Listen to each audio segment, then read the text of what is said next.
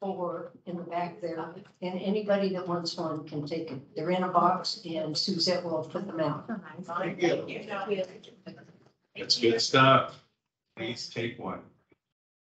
If there's some left over, maybe for somebody that, uh, you know, that would appreciate it too. In the name of the Father, the Son, and the Holy Spirit. Lord, we praise you and thank you on this day, the feast of Saint Louis, King of France, who was single-hearted and loved you with all his might, never let the responsibilities and pressures of king get in the way of his personal relationship with you. And because of that, he was a great king. We pray, Lord, that your blessing will fall upon us, that we will never allow any pressures or burdens to overwhelm us, but that we will always, like Louis, take uh, everything to you and trust that you will make us right. We ask this through Christ our Lord. Amen. Father, Son, and Holy Spirit. Okay. Can we Go to the next slide, please.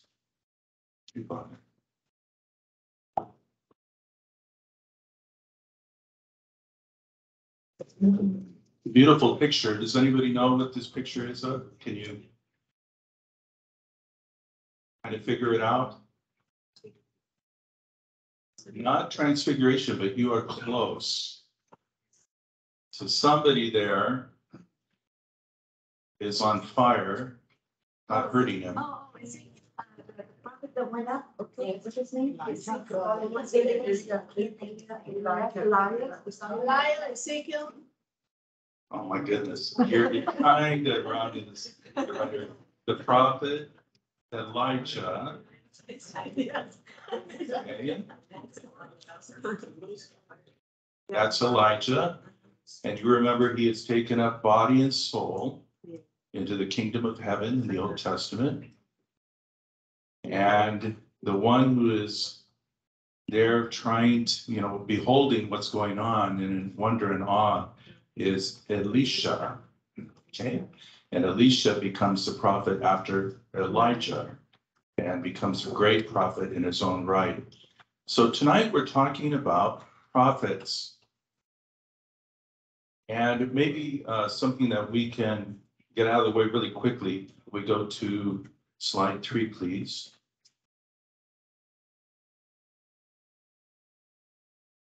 Well, what just is a prophet anyway? And a lot of people, when they hear the word prophet or being prophetic, many times they think that we're talking about someone that's telling future events, something that like Nostradamus or something, something that's going to happen in the future.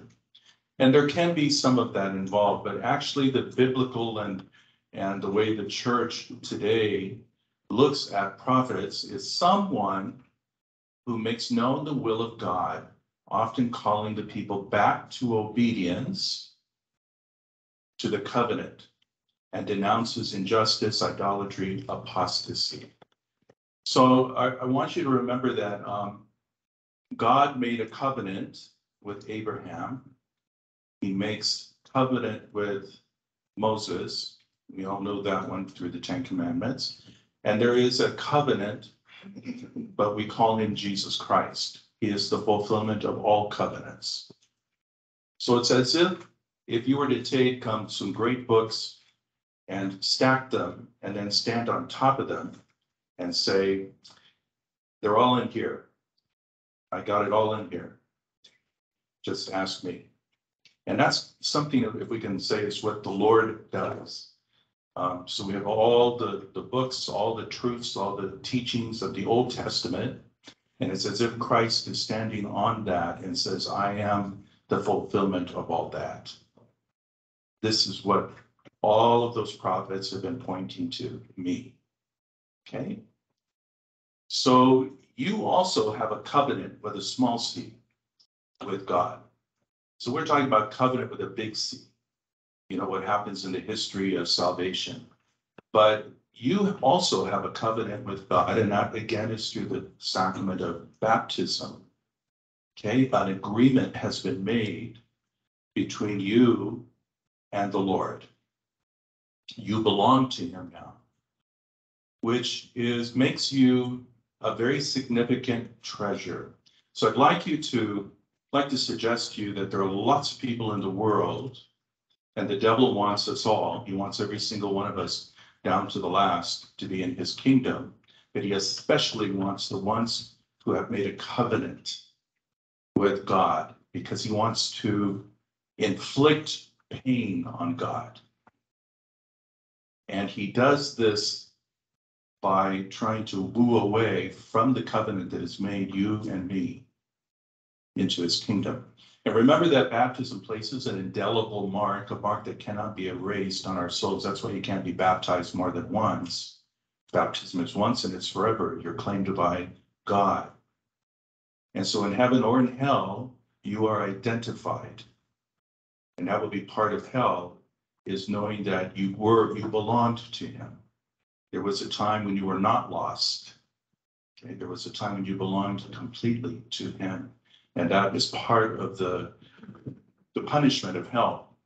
So now I want to take it one step further. And this is why the devil is so intrigued, obsessed with abortion. Because it is the most innocent of all humans. The most vulnerable, the most pure of all humans. And to be able to take them before baptism can be given, you know, is a crown for him. See? And even though the child does not belong to him, but the willful destruction of someone that would and could have made a difference, maybe become a great saint, maybe become a great uh, woman or man of our century. You know, all of that is erased and lost now. See? And so um, in his bitterness and anger, he tries to destroy what he can before the end, before his end. He knows his end is coming. Now he's just obsessed with doing as much damage as he can. We'll look at that in the second half of tonight. But I want you to understand that abortion and all the things that happen to, to little ones, this is really a, a very diabolical, serious part of his plan to confront God. And it has always been that way. From the very beginning in the um, Old Testament, uh, the mystery religions, all these religions, they, they took advantage of the little ones. And uh, there is, I was just reading, there is a new cult that follows Baal, B A A L. That is one of the horrendous gods of the Old Testament that the Jews abhorred. There is a new cult that has risen up in Europe, and um, they believe in that God. And so they're very violent, and um, God only knows what they're doing. But to think that someone has given over to some violent uh, false God, you know, it, it's hard to fathom. I know for, for you and for me to think that people would give themselves over to such horrendous um, ugliness, but it happens.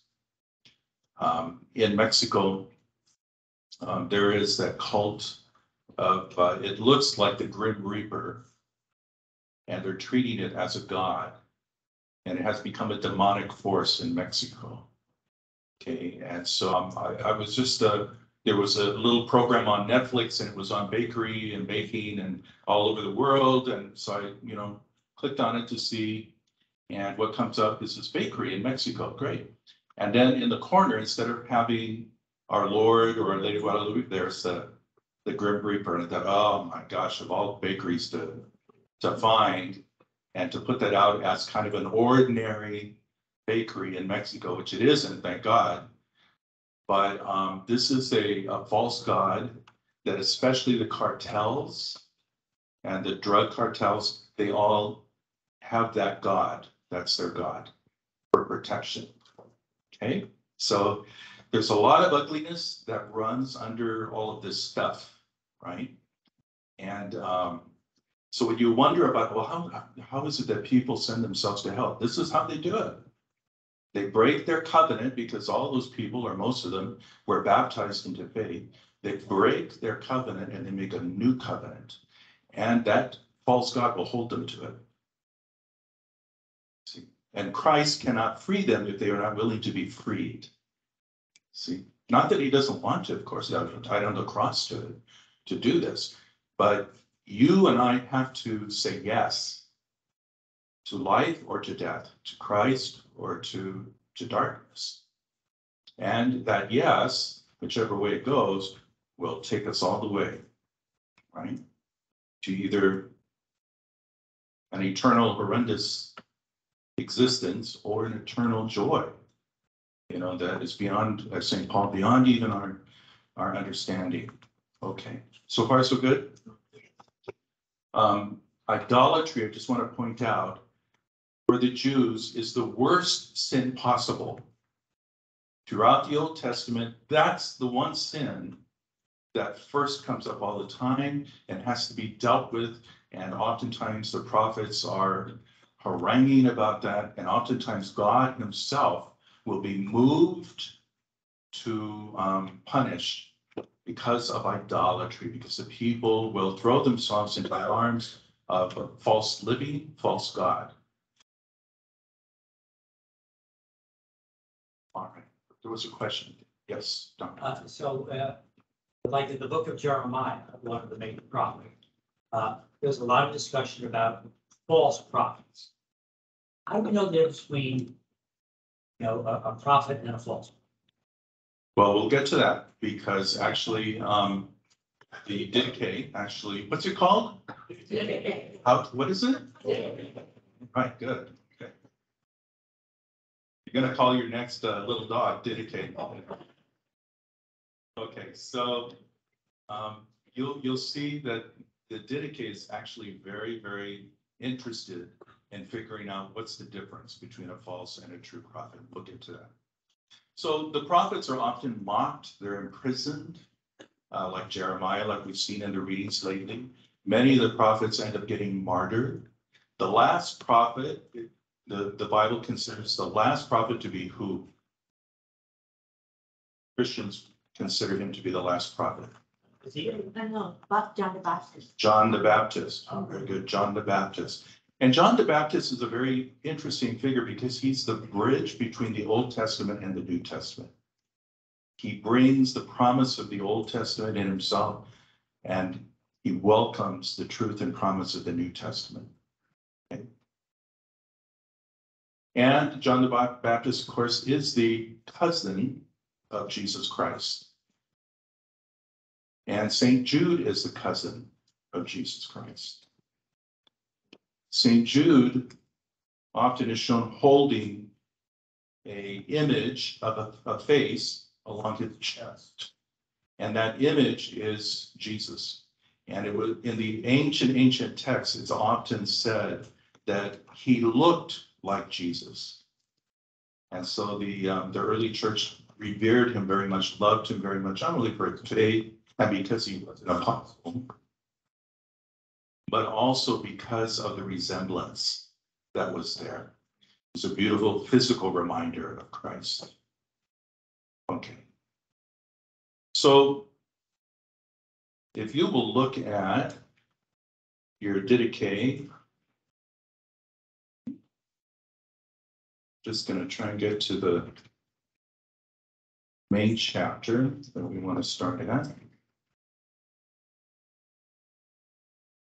Chapter eleven. And we'll walk through a little bit this and hopefully some of these questions will naturally be answered.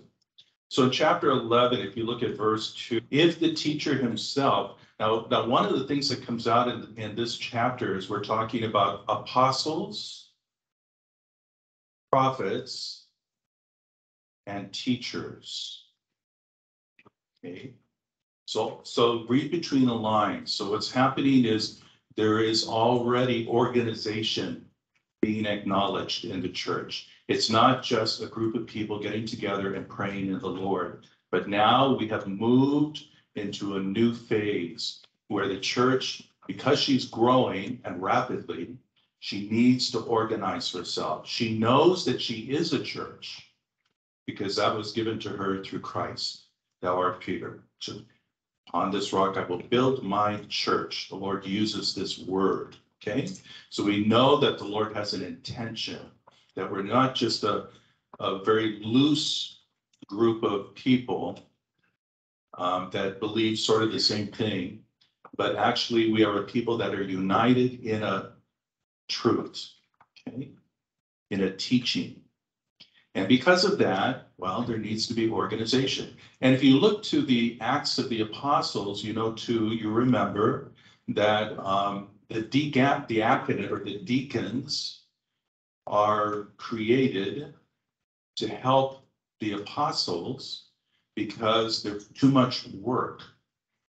And what's happening is that some elements of the community are being neglected or feeling neglected, especially the widows and those that are in need of, uh, you know, charity, the poor and so forth.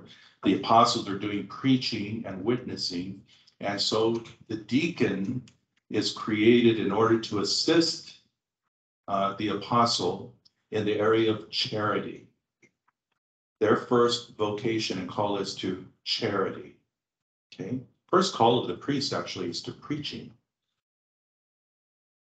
Not, not celebrating the Eucharist or the sacraments, but his first call is to preaching, because from preaching comes everything else. See, from preaching comes truth, from preaching comes the sacraments. But the, the deacon is to assist the um, community in the place of charity. Today, the deacon also can assist in the liturgy. In the Roman Catholic Church or the Latin Church, the deacon does in any of the other ancient churches.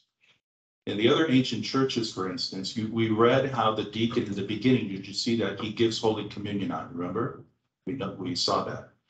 But today in the ancient churches, he does not give out Holy Communion. Only in the Catholic Church. But in the Orthodox, only the priest or bishop may give out Holy Communion. And the deacon becomes almost like the voice of the people in the liturgy. So in East and West, they're developed um, in worship where you had a choir or the deacon, even in our church, who would answer the responses. The priest would say a prayer, then he responds for the people and so forth. So um, the people entered into a very reflective and meditative um, uh, moment and then uh, reception of Holy Communion and so forth. But really, it was um, the, the kind of participation or uh, that happens today, where there's so much singing and so forth. Uh, that's really a, a kind of a, a late development because even before the Second Vatican Council, we had beautiful music, right? You have Mozart, you have Bach, you know, the mass uh, selections that they wrote and so forth. But that was all done by a choir. So it's always a choir that's responding to, to the priest. But one of the um, very direct invitations of the Second Vatican Council was that we should be more attentive to what's happening. Now, I have to tell you that in the Second Vatican Council, the intention was not to go to the vernacular for the entire Mass. In other words, not to go to English Mass, Spanish Mass, Polish Mass, whatever. Um, but there were elements that were going to be now in vernacular or in the language of the people. Elements that were going to be in English, but not the full Mass. And probably the church fathers would be very surprised at what happened, you know, um, would happen later. Um, but in the beginning, it was assumed that certain parts like the Eucharistic prayer um, would remain in Latin. And then the other parts, including the readings, of course, and the homily, would be in the, the language of the people. Um, but over time, now to really, it's intentional if we have um, Latin music, music in Latin, or if we have uh, the Agnus Dei, um, which a lot of us still remember, which is good. Go to any parish and and say Agnus Dei, and everybody responds just like that. Everybody remembers that. The Kyrie, everybody remembers that. The Kyrie is the only thing left in the Catholic Mass from the time when everything was in Greek. It was a time when the Mass was completely in Greek. That's the only thing left now, the Kyrie. Um, in the, the rest of the pieces that we have are parts of the Mass with Latin. It's very, I hope, uh, I used to encourage, at least in the, the trilingual and, um, parishes, that we remember the Paternoster. Because it always bothers me that we, we say, okay, let us now, you know, we, we pray, um, the words that Jesus gave us, or I can't remember the, the new, by divine. You know, we have new formulas with the, with the missal, but when you're, when you're brought up under the old formulas, it's hard to, you know, to, to not go back to them sometimes. But anyway, with the Our Father is this unifying prayer, right, in the mass.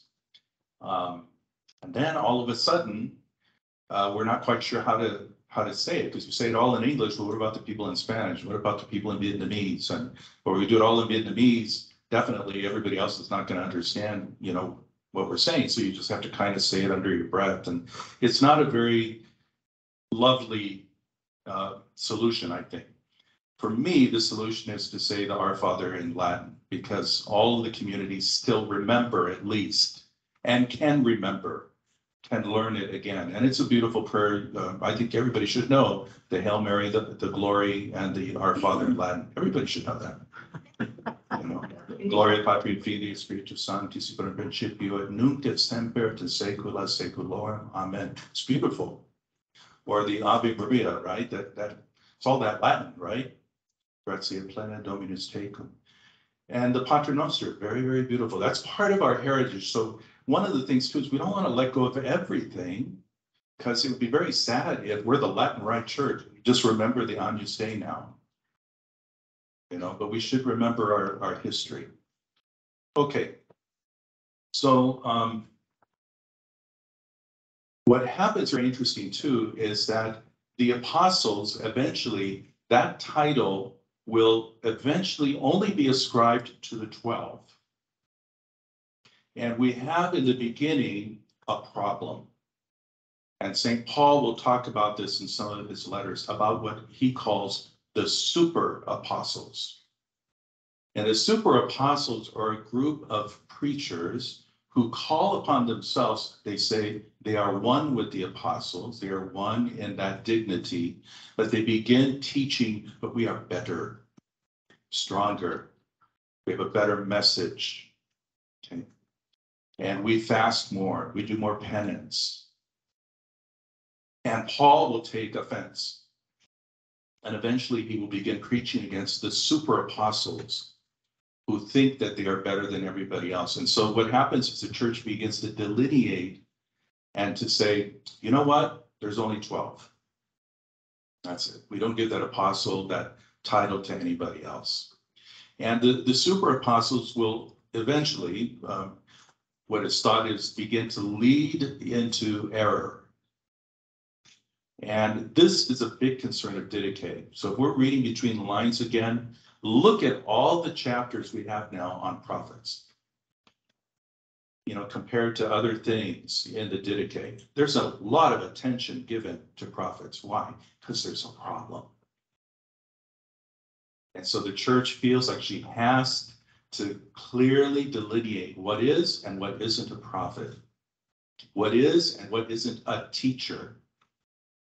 A teacher has to teach the truth or they are expelled because they are seen as what in sheep's clothing? Wolves, wolves in sheep's clothing. So this is something that um, I think all of Christianity has really been um, infected with.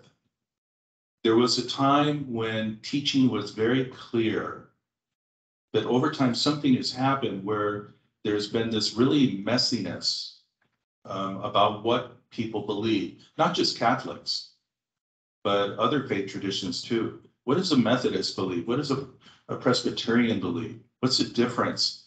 with what a Baptist believes or an evangelical believes. Um, and how many times, you know, on simple things like, um, people say, well, Father, I, I went to Protestant church on the corner and it was great, you know, and they, obviously they loved Jesus and, and we were singing and we were praising and, um, and so, but I didn't go to mass on Sunday, but I went for, you know, an hour and a half to this service and it was beautiful. I mean, I really felt the presence of the Lord. Okay, that's wonderful. You know, nothing wrong in going to a praise night or something like that. But, but to, to somehow think that that's the same as the Eucharist is, is wrong. Uh, we're taking something and building it higher than what was given by Christ at the Last Supper, which is his, his last will and testament, as it were. And where the bread and wine actually become the body and blood. Now, we have praise nights, right? We have nights uh, in Spanish, Noches Alabanza, where you have guitars and we're singing and praising the Lord. Um, we do that in charismatic circles. Um, we have um, nights where um, it's not charismatic, but there's beautiful music and, and reflection from scripture and so forth. I mean, we have that. But the Catholic Church would never say that's on the same level as the Mass. The Mass is the supreme prayer of the church. There's nothing higher for the church than the Mass. Okay. And that would be the truth in all the ancient churches. They would all hold this, whether you call it the Mass or the mysteries or the divine liturgy, whatever of the ancient churches, remember, those are all the churches I'm referring to before Reformation. They all, we all hold the same teaching about the essentials. Except for the Holy Father. That's, maybe we'll have, someday we'll have a, a class on all that too. Um, what's the differences? But in the essentials of sacraments, um, we all believe in the seven sacraments. One of the things that um, the Orthodox, who I've mentioned, it's a big thing for me in my work with the Orthodox. Um, they believe in confession, the sacrament of penance. And even Martin Luther did. Did you know that? Even after Martin Luther broke away, he said, if people come to you and, and request confession, give it to them. If they come to you, if they really need it, give it to them. So he did acknowledge that um, confession uh, had its place. Later on, centuries later, the Lutheran Church let go of that. But Martin Luther didn't. By the way, Martin Luther also had a great devotion to Mary. which a lot of people don't know. He wrote poetry to her. And he believed that she was free of all sin, that she was uh, ever virgin. So, but that got lost in history, you know, later. Um, so with the Orthodox, um, they do believe in confession, but it's a sort of a general confession that's done. Um, it would be like, um, hmm.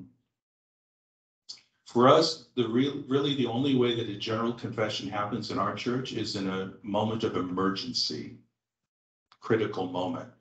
The easiest one would be if we're on a plane and it starts to go down. I should jump up and say, is there anybody Catholic here? And of course, there's going to be a few and some wishing they were. And and then I would say, I absolve you in the name of the Father, Son, and the Holy Spirit of your sins, you know, because we're going down. And if we survive, then you get to confession. But that would be confession. Okay? Last confession. But what I tell my Orthodox friends, priest friends, is even psychologically, there's something really impressive about um, the sacrament of confession. Um, and this is why Christ gave it to us to free us. So that I sit down with you and we talk. And you have faith that this conversation is shadowed by the Holy Spirit. And by my ordination, because that's what Christ gave me, that gift of ordination, not only do I change bread and wine into the body and the blood, but I have the honor and privilege of helping you to reconcile with Christ. Not only to grow in him, but to reconcile in him too. and um, to remit or remove your sins. That's a big deal. For some people, they just kind of go through life and then at the end, right before death, they get panicky and they want to see a priest now. Because it becomes very clear that I need to do something about this before I meet the maker. Well, sometimes you're not gonna be able to find priest. When my grand, uh, grandfather, no, my grandmother was dying at Garden Grove Hospital, I called my parish, I was a seminarian, um, ended up calling three churches. You know, it was after hours. But you have an emergency line, every Catholic church has an emergency line. And nobody got back. And then I called the Columban fathers, because I knew them, and father came just like that. And came to the hospital, anointed, and then, you know, said a few words to us, and I walked him out. I said, Father, thank you so much. I said, you know, I called the other parish. He says, oh, he was a saint. Oh, don't, don't worry. He says, you know, the other fathers, I'm sure something, something came up, something, but God found a priest. That's the important thing. Don't worry. And I remember thinking before I talked to him, as I'm walking, I thought, gosh, maybe I should be a Columban. And, and that calmed me down again, put me right in the right place. Of course, he's right. I mean, how do I know? You know, now I'm a priest, right? And we're priests. And sometimes things happen. We can't be in three places at the same time, even though three calls come in, or, you know, those things happen. And so um, we do the best we can with it. But, and this is why I tell people, you want us to get married, okay, but think out the consequences. Because if we're married and have families, we're not gonna be twenty-four hours like we are the whole, you know, these centuries and centuries of the church, we're not gonna be able to make it maybe to the hospital in the middle of the night and all those kind of things. When little Johnny is, has a fever and his mom has COVID and, you know. So, I mean, the church is very wise in, in a lot of ways, you know, with priesthood. Um, you know that in the Eastern Church, Orthodox, Eastern Catholic, uh, their priests may marry, but only before they're ordained. And in the Orthodox churches, the bishop cannot be a married priest. He can only be a celibate priest. And those are usually the priests from the monasteries. You know, you see the Orthodox bishops and they wear a big veil and black and because that's what they wear in the monasteries. So they're just wearing what they always wear. You know, so that's part of their, their religious habit. And they're from the monasteries, you know. So I, I was talking to one bishop recently and, and, um, from the Orthodox and, and I asked him, I said, so, um, Father, or Eminence, uh, have you seen, um, this movie, whatever movie it was? And, uh, he, he looked at me and says, Father, I have never been to a movie. I said, what? He says, I've never been to a movie. He says, I do the liturgy, I visit the people and the priests, and I come back to my house. I, I don't go out to, you know, entertainment or football games, or he says, no, no. And then I, it, it, you know, I remembered, well, of course, because you're a monastic. That's what you're used to. You never, you're in a monastery, you don't go to all these things, right? And so, um, and this is part of sometimes the tension is you have a monastic leading a diocese and wanting the priests who are married and in the parishes to live a monastic life when that's not what they've grown up with. So there's a little bit of a, um, there sometimes in orthodoxy. And it's one thing that, at least in the Catholic traditions, we avoid because we only have one kind of priesthood. You know, we have religious and we have monastics and all that, but any of them can be become pope or bishops. Right? Okay, but we do, or they do agree with us that um, a bishop must also always be celibate. And that's been the, you know, the, the teaching and the, uh, the life of the church from the very beginning. Okay. Yes, question.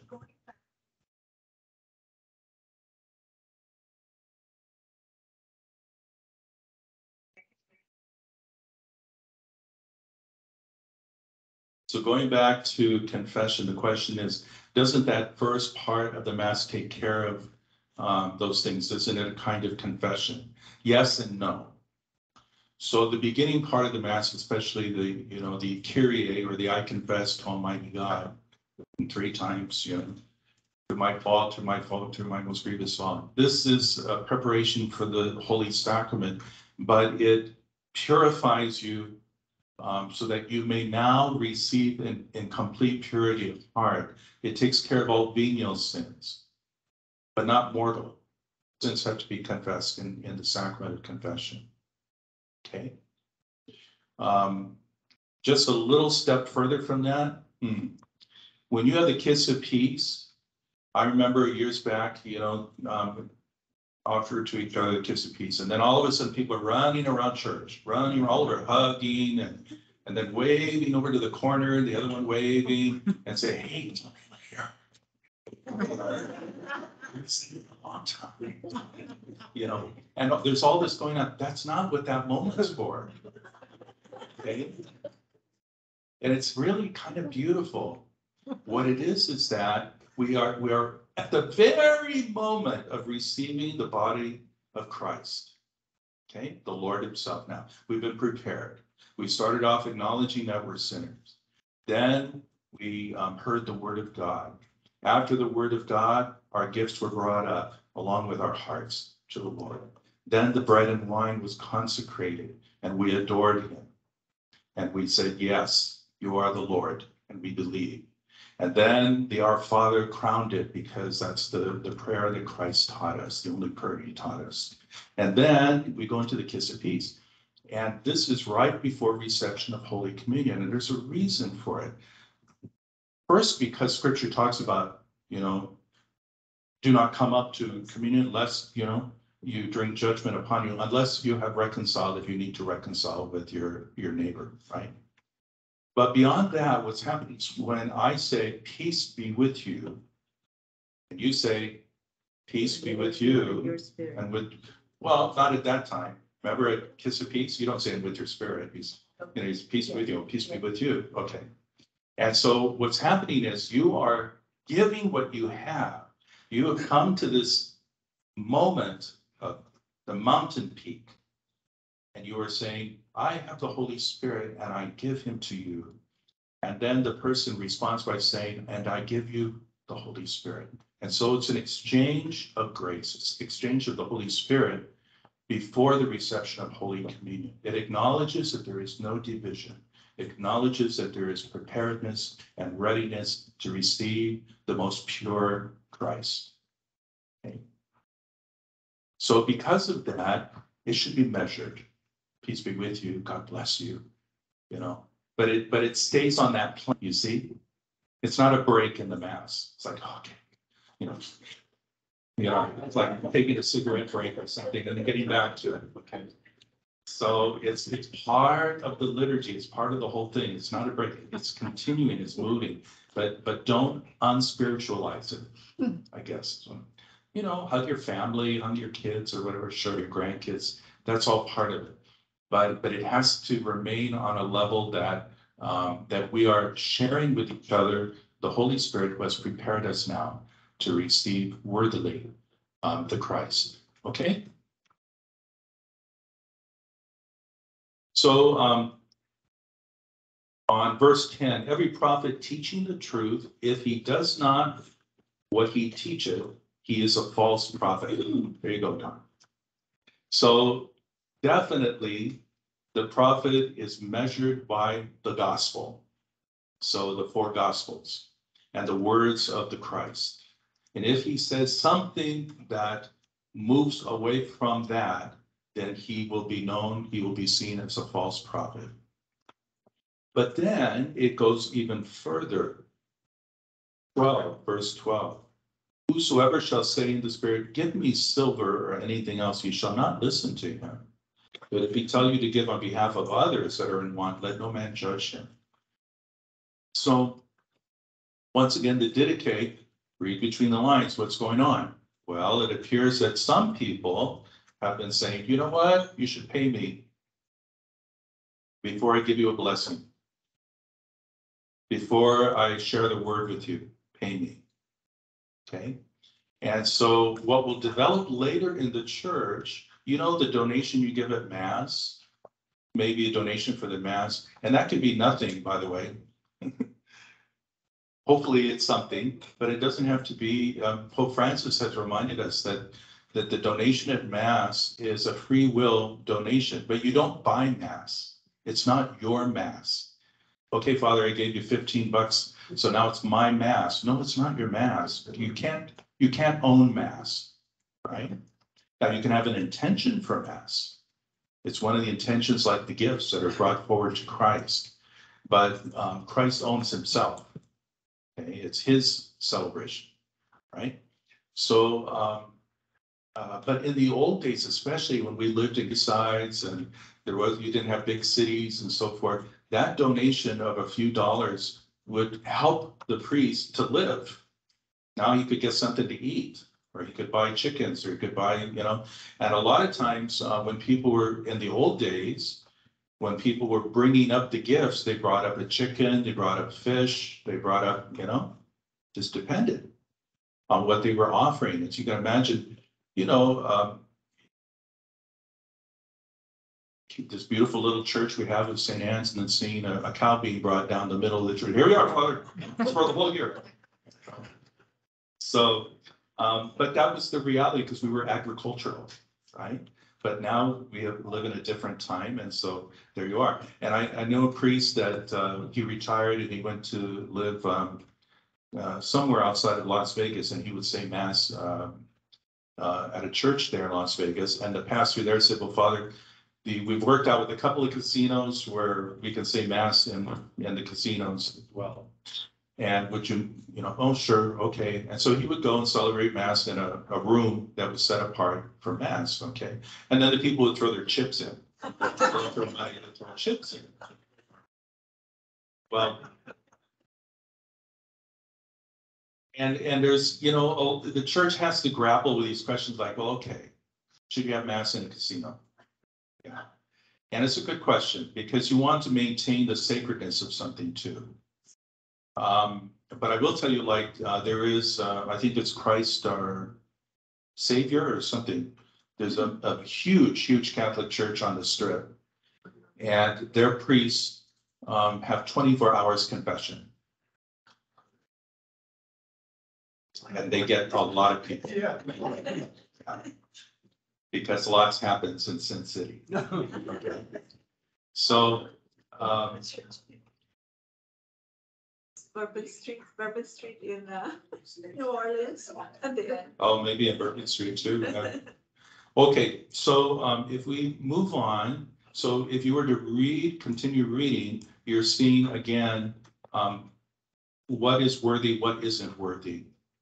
And um, uh, what should a prophet ask, what may he not ask, or a teacher? Now, let's move to chapter fourteen. Verse one. On its own day, gather yourselves together and break bread and give thanks, first confessing your transgressions, that your sacrifice may be pure. And again, um, know, we, we dealt with this in the early document, but here we are again about the importance of confession, confessing your sins before receiving Holy Communion. Now, in some places, sometimes I will get people um, in confession who will tell me that um, they were taught that, especially if they're from Mexico or Latin America, that uh, before they can receive communion, they have to go to confession. That before every time they go to Holy Communion. That's not the, the teaching of the church. Teaching of the church is you go to Holy Communion when you're free of mortal sin, but um, you go at least, according to canon law, the law of the church, you must go at least once a year. Or you should not receive communion then. At least once a year. That's Mother Church being really generous and loving you beyond love to say, just visit me once, okay? You know, like your, your grandma who says, just come once. I'll make you a nice dinner and, you know, we'll have a nice, And just trying to, to get the grandkids to come at least once a year to see her, right? That's almost the, the kind of way the church, you know, she says, just once come to him. But in reality, we should be receiving confession frequently. Because it's not only taking away sins, it's as we talked about, it's also putting God's grace and love in us, in us, his mercy. It's catechetical, so that we are learning how to not fall into sin. And it's shaping us and forming us into a good people. It gives you the gift of humility. It breaks down pride. And it is the one place, and I will often ask um, teenagers or young adults, like if they're on retreat, I'll ask them, because we have a longer time because it's retreat to give them confession, so we take a little bit more time. And I'll say, you know, these things you're talking to me about, um, is there anybody else you really talk to about all this? And, and they just no. And, and I say, how lucky you are, right? That Christ is giving you. You can tell me anything. I can't tell the Pope, I can't tell your mom, I can't tell anybody what you say to me. It's just between the three of us, Jesus, you and me. And I remain, I have to remain silent under pain of excommunication. If I break the seal of the confessional, I am automatically excommunicated from the priesthood and from, and from the church. It's that serious, okay? And the reason why the church is so strict even on the priest about that is because you can't fool around with it. If people are gonna have confidence and bring their sins to confession, then they need to be assured that we don't go blabbing. And we don't. Any priest would be horrified if he heard that another priest was breaking the seal. Honestly, he'd be horrified. It's just one of those things we do not touch. You know, We get it. And we would never do that because then we have to answer to him about that, and that would be really, really bad. So, um, okay, so far so good? All right. So that your sacrifice may be pure. So you confess your sins so that your sacrifice, what you bring to the Lord, your heart, your life, it will be a pure offering and not like Cain's offering, but like Abel's. Okay? Don't bring something damaged, not knowingly. Right? Not knowingly. Okay. Chapter fifteen. All right, now we're here at bishops and deacons. Appoint for yourselves therefore bishops and deacons worthy of the Lord, men who are meek, not lovers of money. There we are again, the money thing. True and approved, for unto you they also perform the service of the prophets and the teachers. Okay, so bishops and deacons actually come out in the, uh, their roles are, are, uh, come out in the uh, Acts of the Apostles. Um, Sometimes the word presbyter is used or elder or bishop. It's the same. Okay. Remember, bishops came first, then priests, then deacons. We have a little church that's growing, growing, growing, growing. Organization happens. Then along the way, we get cardinals, monsignors, and so forth. But remember that, for instance, cardinal, monsignor, um, these are not titles from scripture. They could be done away with any time by the Holy Father. It was created by the church. It can be uncreated by the church. But bishop and deacon and priest cannot be uncreated by the church because she has to remain faithful to the gospel. See? So the church never has the authority to create or do anything that is opposed to the word of God she has to uphold and support what is ever in the New Testament or the Word of God. And she ceases, but in, in a sense, existentially, she would cease to be the church if she did that.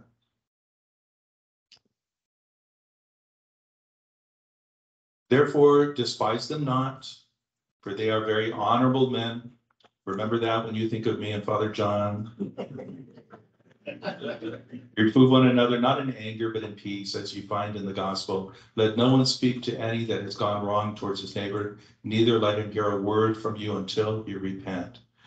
Um, so there is, a- again, a reminder that when people really go off the cliff, uh, we want them back, we pray for them, but don't um, socialize as if nothing's wrong.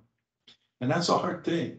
It's a very hard thing to do today even, because there are so many family members and friends that have gone, you know, astray or away from uh, the faith and so forth, or living in a way that's really at odds with the church or with the teaching of the gospel. Um, I had a gentleman come up to me and, and kind of try to pick a fight with me a couple of years ago. I'm, I'm actually very, very calm. I don't know if you noticed that. I'm very, and it- it's not the medication or anything, it's just the way I am. And, uh, uh, it takes a lot to get me, you know, to explode or something, but maybe four or five times in my whole life I can recall. But he was, he was, uh, trying to get under my skin about, um, uh, something to do with the, the moral life in the church, or might have, might have to be about, um, I think it was, uh, adultery and, you know, and divorce and annulments and that kind of thing. And I, and I just listened, and then finally I, I said, you know, you're not mad at me. I'm not responsible for that. I'm the messenger. But you gotta take it up with him. Because he's the one that, that gave it in the gospel. He's the one that wrote about that. About you shall not enter in a new marriage if you are divorced, that it is adultery. Now, remember that annulment for the Catholic Church isn't Catholic divorce. What it is, is trying to discern whether that what appears to be a first marriage had something so faulty in the beginning, before or at the time of the marriage, that it really wasn't a covenant. It looked like it, but it really wasn't, and we can prove that. So for instance, I had a, a couple that I married, well, I was, um, yeah, I married and a beautiful couple. The, the mom and dad had, uh, five girls, all beautiful girls. They were all sent to uh, Gonzaga University. They came back educated, very strong in their faith. And, uh, one of them married this guy, seemed like a very, very nice guy. They had dated for a while. And then about six months into the marriage, she realized, well, he was a lawyer, that he wasn't a lawyer and that he was getting dressed, putting a suit on, putting his, um, you know, valise together or his, his, um, briefcase, thank you. And then he would go out to the park and he'd sit in the park and, you know, just sit there all day long and then come back home like he'd been at work. And, you know, they were her side of the family had money, as you could imagine, if they sent all the girls to Gonzaga, and I think he just figured, well, you know, it's gonna work out somehow. Well, she found out and she was completely destroyed by it. And so when she went to the church, she said, I, I can't trust this man. I don't even know who he is anymore. All this time, I thought I knew him. And the church granted the annulment because she did not marry the man she thought she married. See? Something was wrong before or at the time of marriage, absolutely. A big, big uh, lie, you know, dishonesty. And that uh, was the proof that that was not a true marriage. Now, the next marriage, I don't know if she ever got married again, but if she did, that is not her second marriage. That's her first marriage. Now, civilly, civil state will say, nobody got two twins in your second marriage. That's civil stuff. But according to the sacrament, no, that's the first marriage. Okay? Okay. Down to chapter sixteen, verse three. Here we are now, we're getting into uh, the Antichrist. And can we go to the next slide, Paul?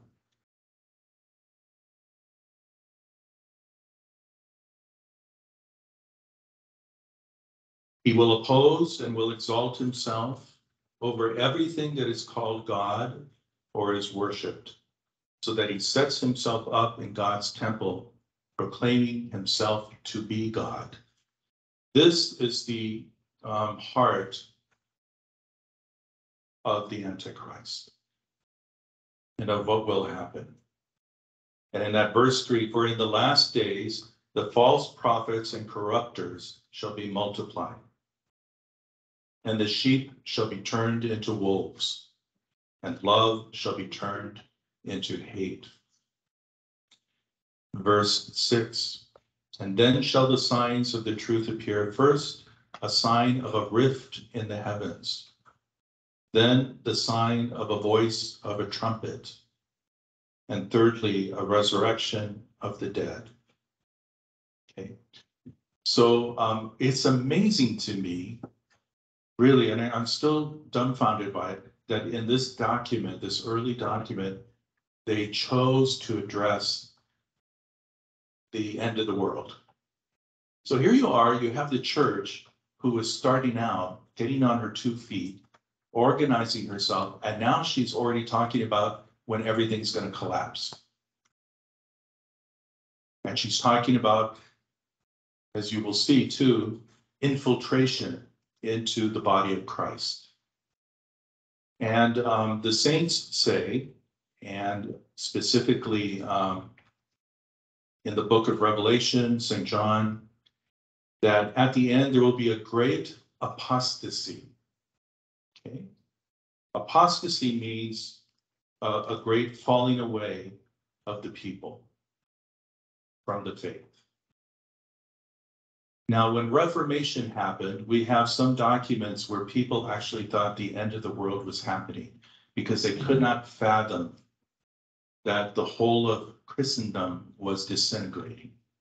Germany had walked away from the church, the lowlands had all left the church, and uh, England left the church because of a divorce, and you know everything was was falling apart. The French, then there was great division between Catholics and Huguenots.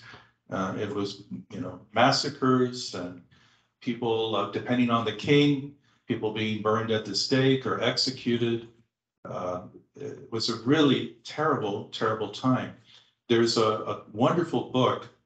Um, I think it's the author, I think the one who wrote it is Eamon Duffy, who's a great, great um, historian. And they found a document of a priest who lived during the reign of um, Henry VIII, um, Mary, and Elizabeth. And this guy, in order to survive, he just kind of flowed with it all. And so there's all a document showing that when Henry VIII broke with Rome and said, no more statues, then he took out all the statues. And uh, no, you can't uh, pray for the Pope anymore, no more rosary, okay, then all those things. And trying to deal with Cromwell so that he didn't get his land taken away, you know, the church land and so forth. And he made it, Henry VIII died. And then you have um, uh, the son who becomes uh, king for a very, very short time. But it's a very, actually, he's the one that really put um, the Protestant stamp on England. But then he dies uh, from smallpox, I think, very young age. And then Mary comes in, Mary Tudor. And Mary restores Catholicism. So now Father brings back all the statues and puts them all in again, brings the incense out and everything, and happy as clam doing, you know, all that we used to do as Catholics and so forth. And then Mary dies, and Elizabeth the First becomes Queen of England, and then, okay, here we go, take everything out again.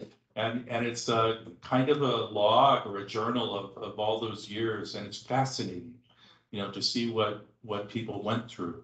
And you can imagine that if, um, you know, we're living in medieval times and the king, who has such great authority, decides, hey, we're not Catholic anymore.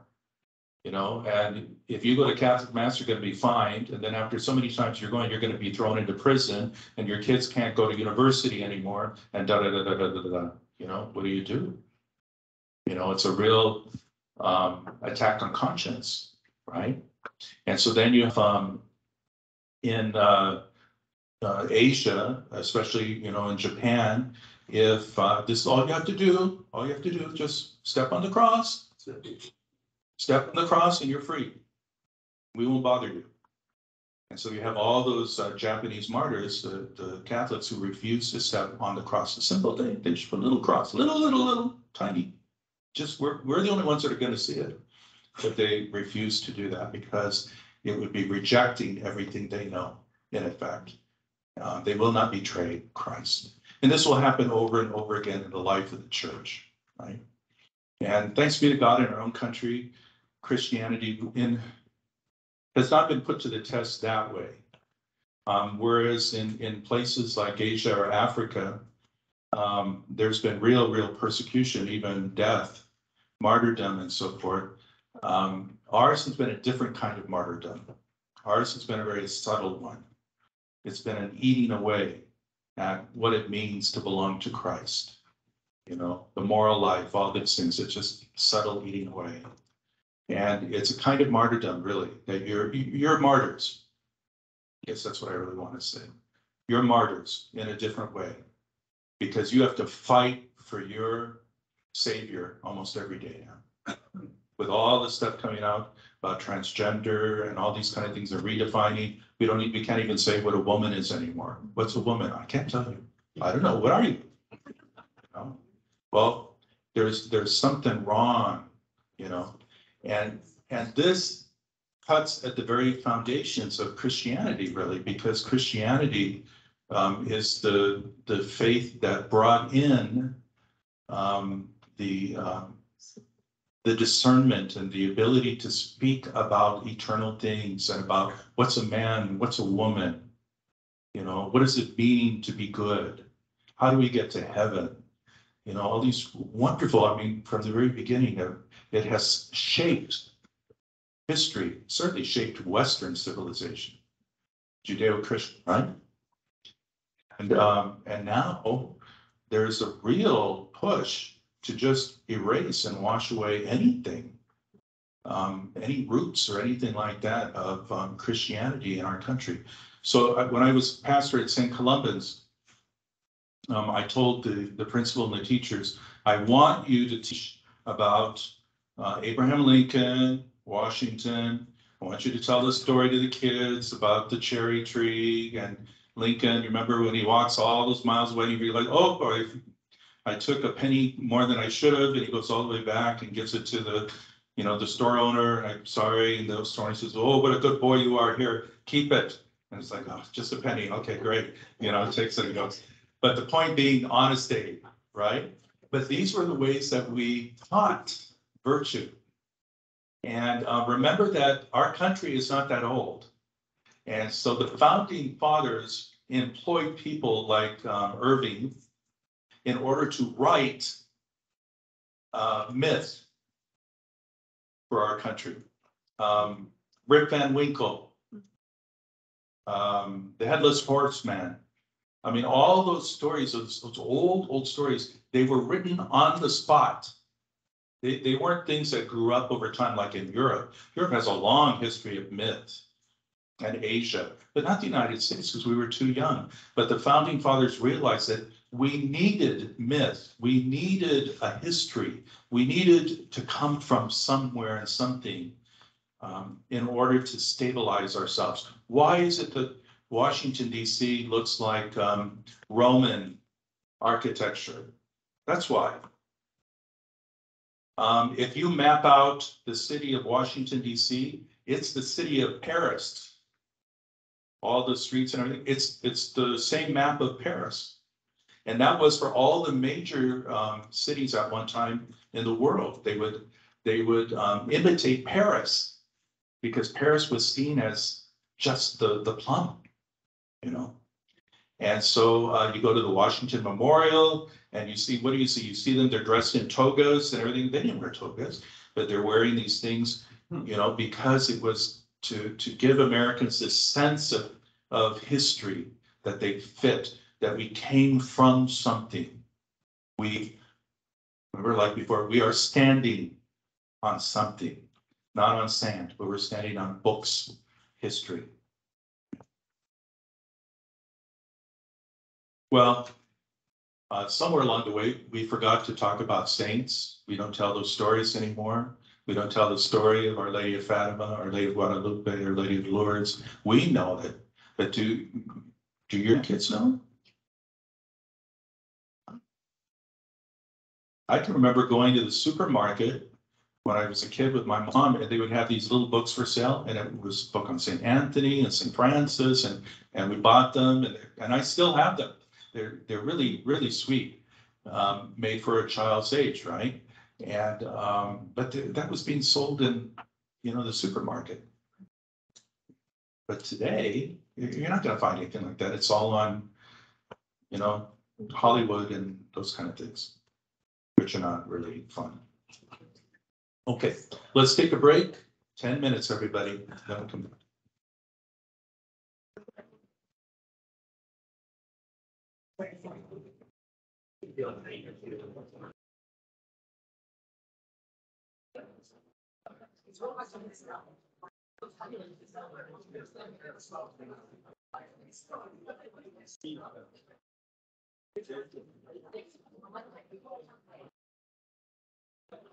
Okay, everybody, let's get together.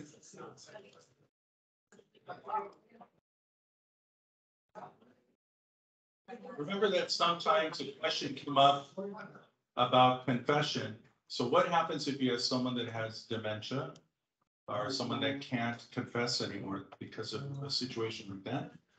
And, um, you know, um, everything is about the mercy of God. He gives us sacraments to help us and to move us along the journey. But if uh, one is not able to receive for a good reason like that, if, if a person has dementia and cannot recall anymore, then um, we just, you know, pray and we, um, my experience is even with people with dementia, uh, but especially with people a lot of times in coma. Um, I've had a number of times where I come to anoint, I'm doing the prayers, and then when we say the Our Father or the Hail Mary, they come out for. It's amazing. They're- And with dementia, they're very clear and they'll pray the prayers from heart. And maybe nothing else can, you know, will come your way, but the Our Father and the Hail Mary do. And that's because, wow, we grew up with that, right? And we, we said that so many times and we said it with love. And so those prayers remain very powerful. So, um, but in all things, finally, you know, we, we rest on the mercy and the goodness of God. Um, it's great if you can receive viaticum, you know, before death, you receive your last Holy Communion. But if you can't, if for some reason you're not able to, that doesn't mean that um, you're, you're not going to heaven. It just means that that one help is not there, but there are many others, including the Virgin, Saint Michael, you know, the saints, your guardian angel and so forth. Okay. Um. I want to walk through this just a little quickly. Um, this is a scary part of, I have to be honest with you. The, the Antichrist and the end of the world is a little scary. And there's just no way to get around it. And I would say the best way to hold off the end of the world is for us to become missionaries and bring more and more people into the faith. Because as we said, one of the signs of the end will be the great apostasy where people are just going to leave in droves. Another is the temple of Jerusalem will be rebuilt, which sounds almost impossible because the Muslims have their temple right now where the temple of Jerusalem used to be. But according to um, the saints, what will happen is that the Antichrist will take down the Temple of the Mount and will rebuild the Temple of Jerusalem. All because he has in his plan that he will reveal to the Jews first that he is the new Messiah. So basically, what most saints hold to is that, and most of the, um, I'm talking about St. Jerome, St. Ephraim, uh, Saint um, Irenaeus, all the great church fathers. These are the, the bishops that are uh, writing right after the apostles. They deal a lot also with the end times and uh, who the Antichrist will be. And they say that the Antichrist must be the opposite of Jesus Christ in some things. So in the same way that the Christ came into the world through the virgin, the Antichrist will come into the world through adultery. And so um, it will be a, a woman who is somehow consecrated to God, and yet she will defile herself, and he will be brought into the world that way. He will be quiet the same way Christ was quiet. He will work miracles the same way that Christ will work miracles. He is not the devil. He's the devil's mouthpiece. He is possessed. But he is fully activated and fully given over to uh, the devil. He will become a leader of the world in such a way that the world, a lot of the saints, early saints wrote that there will be um, a terrible war. And in fact, scripture said that there will be a, a terrible war before the Antichrist comes. And the reason why is because people will be desperate for real leadership, desperate for peace, tired of the warfare and everything. And he will be charming and really intelligent politically. He will come across as being a wonderful, wonderful man. He will not show himself at all to be evil. And the people will come under his sway and will agree with his vision, which is to have one world government. Because he will say, we are past this, we're in a new era now, we are past the time of kings and kingdoms and governments that take advantage of the people. And I will lead us into a new era. We'll have one government to take care of the affairs of the whole world. Okay, no more um, um, corruption, no more uh, politicizing. Um, we're going to be united as one people, even though we are different cultures and everything. And then he will create a new church, a new religion that will be a gathering of all the churches and religions so that everyone will agree, you know, for peace sake, yes, let's do this. Okay. And then he will announce himself to be the one who has come, the Messiah. Once he announces that, then there is a seven-year window of the um, uh, the Antichrist. He will begin at the age of 30. He will last only until the age of 33. But seven years, so four years, he's preparing.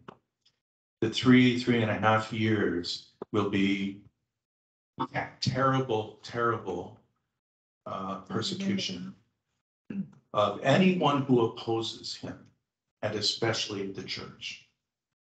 The church always remains the one threat to kings throughout history. Look what's happening in China. So the church is, he, the China is creating a counterfeit church. And, um, and people are, are, are really suffering under it. And Pope Francis is trying to find a way through this. Hard to tell, I, I mean, at this point, even the, um, uh, the cardinal under him who's in charge of these affairs said, there's not much progress to show. And what's been, uh, the church trying to find her way in China and freedom under a communist regime. So it may fail, this experiment that Pope Francis is trying. So we have to see. But um, always, either a counterfeit church is made or the church is, tr- they try to stamp out the church completely. Because a king or a tyrant will not be patient with another king who may have authority, break into his authority or have authority over his uh, kingdom. So the, the thing about the Pope is that he is the vicar of Christ and head of all Catholics. That's a lot of people. And it doesn't matter if he's Italian or Argentinian or African, it doesn't matter. What matters is he's the Pope, the vicar of Rome. And when that happens, every king is a little uncomfortable. Because just the way, remember with uh, President Kennedy, you know, are you going to impose Catholicism if you become president? See, there, there's always this, are, are you gonna make us a Catholic nation or a Catholic you know, under the thumb of the Pope of Rome or that kind of thing. And the problem that we've had, especially with politicians, is that in order to find their way through, they've compromised many of them into, personally, I feel this way, but I cannot impose that on the people. Well, if that's your argument, you can't impose anything on the people. So if a politician is against the death penalty, which the church is, if the politician is against that, um, they all fight for it, right? They're all saying, we gotta stop this, and they go to the president, and they go to the government, and they go to Congress, and they stand up and, and they say, you know, it's not right. Um, people should not be put to death and, and so forth. Well, you're imposing your, you know, your, your own belief again. It happens to be Catholic also. But, uh, when we elect people, this is why when you elect, you, you, the best you can, you need to know who you're electing. Um, because that person is gonna represent you, but they're gonna have to come from what they know and what they believe.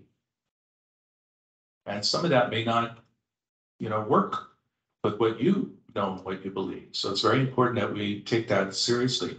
I know it's very complicated, and we have to do the best we can with it. So does that sound okay? Yeah, it's, it's a very tricky thing, but, um, but what we have is, um, now, um, all sorts of, again, confusion. Just think for a minute, all the Catholics, we're the largest, uh, religion in the United States. Just think if all the Catholics were on board with just the basics. The essentials of what it means to be a follower of Christ. Just think what this country would be. Uh, we would really be a light. But the light has to be clear, you know? Um, instead, we, we sometimes provide confusion.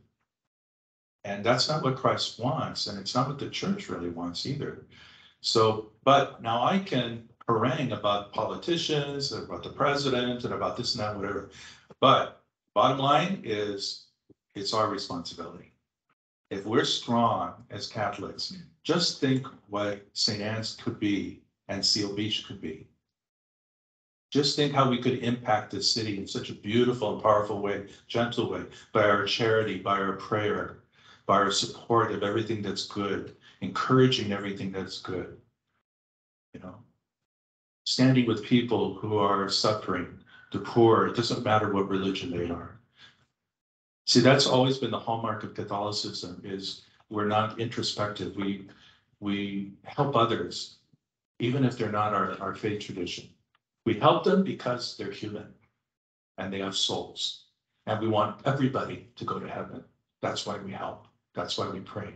All those prayers of the faithful that are never just about ourselves, that's why. Because we want everyone to go to heaven. And God is the one that judges. We just do what we're supposed to do. So we don't have to figure out how many people are going to hell and that kind of thing, or who's in hell besides Judas or fallen angels, or all those kind of interesting questions that you can never really fully answer. But the, the preoccupation of the Catholic should be, how can I get you to heaven? And by the way, that's what marriage is for. The husband and wife are supposed to help each other to heaven. That's why they're brought together in the, in the sacrament. Because in God's will and time, this is the person that's going to help me to go to the kingdom. And without you, I may not make it. And for the, for the religious, that's the person that I am wedded to, to God. Right? So I wear a ring. Father, do you wear a ring? He doesn't wear a ring. He's single still. So some of us wear rings, but I wear a ring and, uh, um, but I'm not married to Jesus. Sometimes people have, you know, there's, because they think of the nuns, the nuns wear rings. The nuns are brides of Christ. They're married to Christ. That's spousal relationship. But the priest is married to the church. See, the, the church is the feminine. And this is why in, when we talk about the church, we call her, or she, not it. Please never say it. Because when you say it, when you're referring to the church, it's a, it's a machine. It's an institution. It doesn't have a soul. Hmm? But St. Paul and Benedict, Pope Benedict uh, Emeritus, reminded us that we should not use it when we speak of the church. We should use the feminine. Okay? Because the church is the bride of Christ, right? Okay.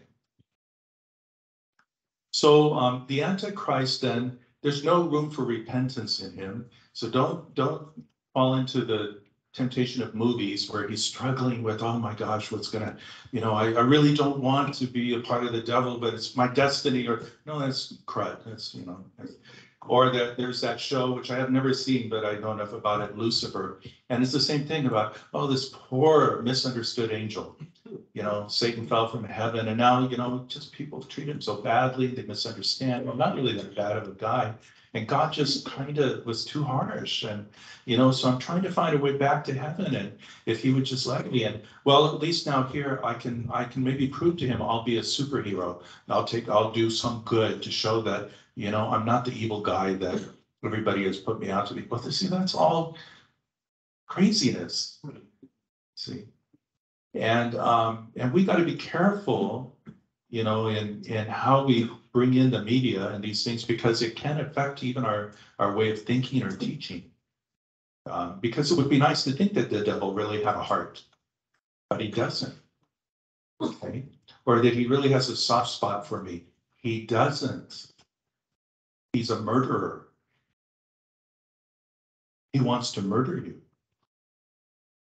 And except for God's loving grace that protects you and me, he wants to even murder even more Father John and me. If he can get rid of the priest, even better. Take away the shepherd and the sheep are, you know, don't know what to do. And so um, it- it's very important then that we recognize evil for what it is and we protect ourselves from evil. Um, no wonder that Christ put that in the, in the Our Father. Deliver us from evil, or the evil one, deliver us from evil. Amen. That's the very last piece of that, right? Okay. So the um, three and a half years will be terrible.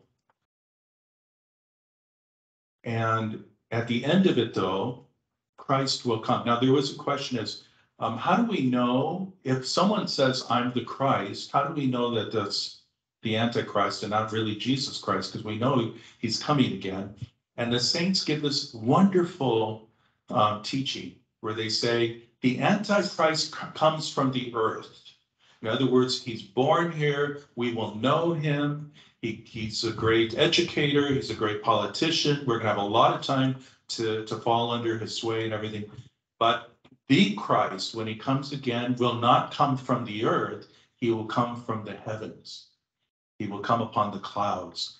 And so the saints say, this is how you will know Jesus Christ, because he will not come from here. He will come suddenly from the kingdom of heaven itself. And that's the Christ we will know when he uh, pronounces himself. And the saints say, even the elect, and this says to indicate, even the elect, the ones who belong to Christ, must be careful because even some of the elect will stumble at the end.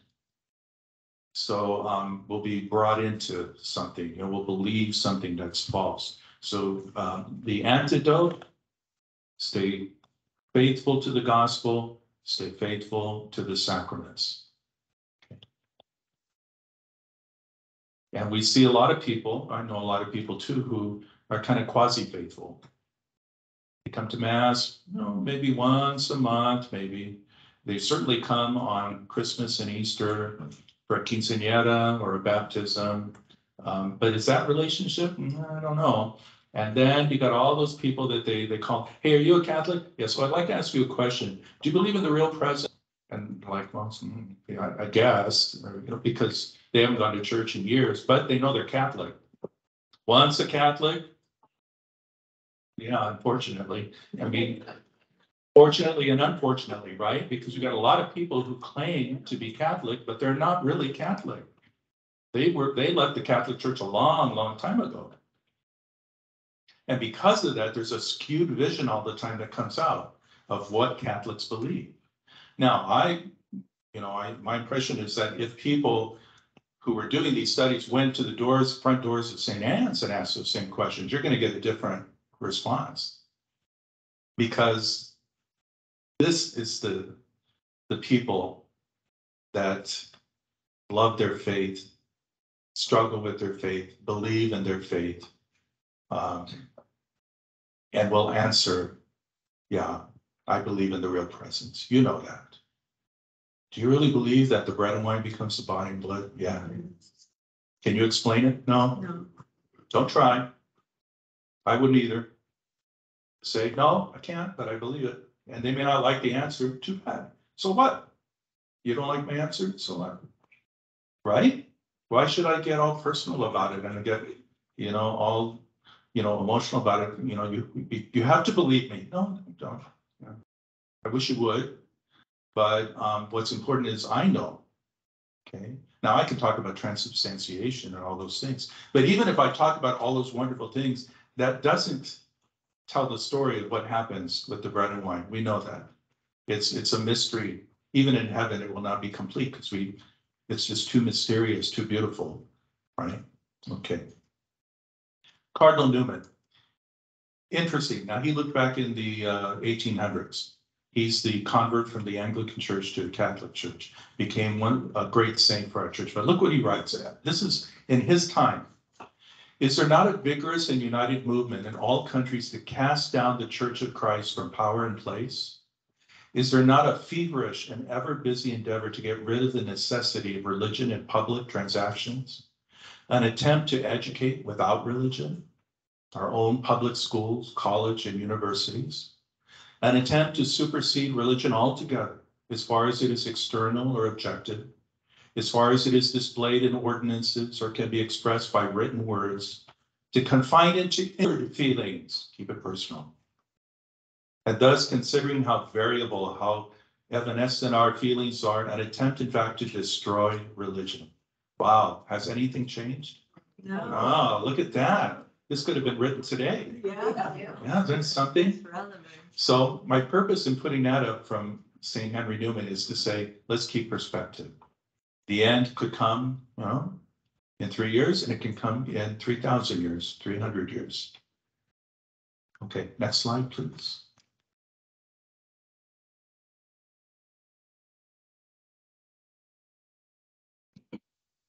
So remember, we're not tonight talking about everything connected to the Antichrist because that's a whole separate series but just to that little portion that does come out in the Didache. So Cardinal Newman finally writes this, which I think is very beautiful. Surely, with this prospect before us, we cannot but feel that we are what all Christians really are in the best estate, pilgrims, watchers waiting for the morning, waiting for the light, eagerly straining our eyes for the first dawn of the day, looking out for our Lord's coming, his glorious advent, when he will end the reign of sin and wickedness, accomplish the number of his elect, and perfect those who at present struggle with infirmity, yet in their hearts love and obey him. Beautiful, right? Very hopeful. So he says, finally, just love him, be obedient to him, everything will, will fall into place. Whatever happens will happen. But um, you should not be anxious. You should not lose sleep about this, right? We need to know what's going to happen. That's good. So we're not caught unawares. We need to be prepared. That's really the bottom line. Okay? All right. So that's going to end our series. Now, a couple of things. I did put a basket in back in case, you don't have to, but in case you want to leave a couple shekels or something, that goes to the church, not to me, not for my vacation or anything. But it goes to the church because, you know, we have air conditioning, which is nice, and the lights, and so any little bit will help. Um, and I'm gonna do that after every series that I do, so it'll be the last night. If you put something, that's great. If you don't, that's okay too. And, um, also, before we end, um, I'd like to ask, um, you know, for you, this is the first series that we had. I have a, I'm gonna take a break for about three weeks or so and I'll announce a new series. They'll never be longer than five weeks. They'll be either three weeks or five weeks. Be on different topics. Has this been a help to you? Okay. Would somebody like to just say how it's helped them? I think it's good for all, all of us to hear this. Good for me too. I don't think I need the mic for it. Online is, it just shows you how our faith is truly linked to the word of Jesus Christ and we do it on earth. Coming through the apostles and then to the church elders. And it started much earlier than I realized. Appreciate the time, Brother John, thanks for letting us have this thing. And, uh, very worthwhile, but it grounded me that way. Thank you. Good, good, good. Anybody else? That helped you to come deeper, you know, to your faith in your Lord? Yeah, so you mentioned, uh, I think last, last week. Yeah, you mentioned last week about, uh. I never knew, I'm, I've been going to mass for eighty-six years and I, I didn't know this. When you put the water in the chalice, the wine go in there, the water represents us. I didn't know. So what I'm saying is, I mean, a lot of these things that uh we kind of take for granted or just believe it because we've been told to believe it. A little explanation would help, I think, a lot. Things like simple things like, why do we stand and kneel and stand and kneel and sit and kneel and stand? A lot of people ask those questions, you know, I mean, it's, I mean, I know why, but uh. People might not, might not, even Catholics, you know. So, uh, things like this, look at you, in a group like this, or maybe even in mass, take a couple of minutes. Yeah. During the homily and say, okay, this is, what did you stand up? And then say why. All right. You know, do you know why we incense around um a casket at the funeral mass? Do you know why? Prayer is going to, have, to. no, that's not why. Not go to heaven. That's not why. I mean, that certainly is, it happens, but that's not why. Because that's something that we brought in from our Jewish tradition. Because the high priest of the temple, if they incensed around anything, furniture or anything, that was now dedicated only to the temple of Jerusalem and could not be used in any other way. So Catholics, we incense around the bodies of our dead to say they are meant for the New Jerusalem and nowhere else. They belong to him. Isn't that beautiful? Yes. Wow, see, see, this is the thing, so many symbols, so many things going on in, in our faith, in our mass and so forth. And we need to remember, you know, because it's really like that small thing, but how powerful, how beautiful, how consoling for a family that's lost somebody. The church is saying, by every authority and power we have, we dedicate even the body of your loved one to the New Jerusalem, that it may not be lost. Right? Beautiful. I learned that, um, everything that we do. It started way, way, way before even the, the, the, the liturgical rites that we have was actually created when, when. The new Christians came together and how it should be carried through, like how to baptize, how to do this and how to do that. And, um, and it, and now I understand why it's not part of the gospel, it's because the gospel I think is more theological. And this one is the how to, I, from what I perceive. Well, remember that not everything is in the gospel, not everything is in the, um, the New Testament or the Old Testament. So for instance, when we're dealing with something like nuclear arms, you're not gonna find any kind of a connection to anything that the Lord said or anybody else said. So what we have to do is we look at what was given to us as foundational things, and that helps us to determine what would God have us do. You know, so we look at virtue, we look at um, the Ten Commandments and so forth. Um, you shall not kill, you know, all these things that then the, the church has to discern. And then, um, figure out, you know, how do we, um, approach this question, whatever it is, transgender. There's nothing in the Bible about that, right? But it has to be dis- discerned and determined. Um, and it probably starts with the Garden of Eden. He made them male and female, did he make them? Okay, well, there's your first start. you know. And he wasn't confused about it. And so now, that doesn't mean that people don't have legitimate problems. But it means that we have to deal with them in a certain way, compassionately and so forth. But you cannot erase truth either at the same time. So maybe we'll have a series someday on, on morals too, which should be helpful. Okay, uh, yes, sir. I think chapter one, point one is probably the most relevant aspect of the the entire. You want to, you want to read that out loud? And it says there are two ways. One of life and one of death. And there is a great difference between the two ways. In life, we seem to, to look for the greatness and everything. But the early Christians were saying you can either follow, you know, the will of God. And that's free will or you can follow the will of the devil. And that's free will. So for me, it just makes things so much clearer and cleaner.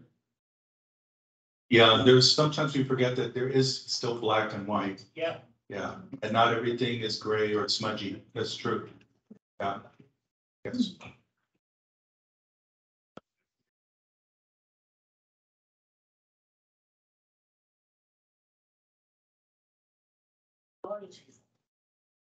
Antichrist, what about the miracles? He will perform the miracles through the power of the devil. But the interesting thing is that whatever miracles he performs, they cannot last. Eventually, they decay. They will look like miracles of Christ or, or the Virgin and so forth, but they will, that's how we know even now. For instance, I'm going to close with this. Uh, when Our Lady of Lourdes appeared to Saint Bernadette, there was another apparition of a virgin going on in um, France. And um, the bishops were very concerned because they wanted to make sure that, okay, why would the Virgin be appearing in two different places to two different girls and so forth?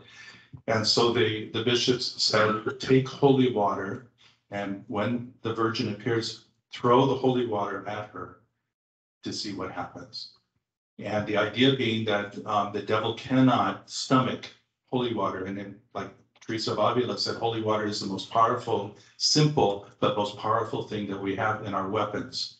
Because the devil must leave when holy water is used, because that creates the, the uh, covenant, baptism. He he hates it because of that. Okay, so um, the um, girl, whoever she was, and receiving the other apparitions, she threw the holy water and um, the virgin who was talking to her, all of a sudden there was a tail that came up. And then the whole thing disappeared. When Bernadette threw the holy water at the Lady of Lourdes, she just looked at her and smiled. So, yeah, beautiful. So anyways, okay, so it's a story to, to remember and maybe share. Good story, Bernadette. Wonderful, wonderful.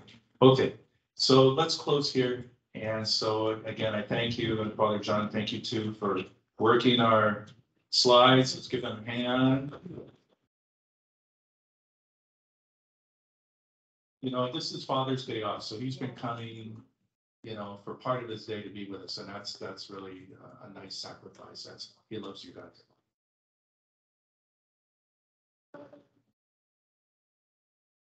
So let's close with a prayer. The Father, the Son, and the Holy Spirit. We thank you, we love you, Jesus, with all our hearts, and help us in our weakness to be faithful to you and to, um, should you call us to be witnesses of uh, your love and mercy at the end of all things and give us the wherewithal for it. Um, If not, help us to be faithful in these days so that we may call more and more people back to you and to your truth so that they may find um, eternal life and life in the kingdom, that people will not fall asleep and think that this is the only reality, this is the only world. But in fact, um, this is supposed to prepare us for the world to come. And all things we place, all our um, uh, concerns, um, all the prayers we have for people, for ourselves, we place in uh, your hands of mercy as we pray together. Our Father, who art in heaven, hallowed be thy name. Thy kingdom come, thy will be done, on earth as it is in heaven. Give us this day our daily bread, and forgive us our trespasses, as we forgive those who trespass against us. And lead us not into temptation, but deliver us from evil. Amen. The Lord be with you. May Almighty God bless and protect you, the Father, the Son, and the Holy Spirit. Go in peace. All right, there you go.